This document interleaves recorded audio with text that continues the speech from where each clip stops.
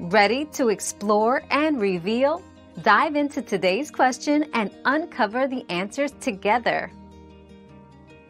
The slow cook setting on an oven is designed to mimic a slow cooker. It maintains a low and steady temperature over an extended period, typically ranging from 170 degrees Fahrenheit to 280 degrees Fahrenheit. This setting is ideal for long, slow cooking, allowing flavors to develop deeply and meats to become tender. It's perfect for dishes like stews, braises, and roasts.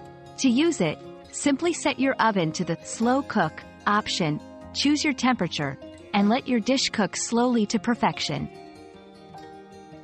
We've quenched today's curiosity, but there's always more to learn. Keep the curiosity alive by subscribing and joining us for our next adventure.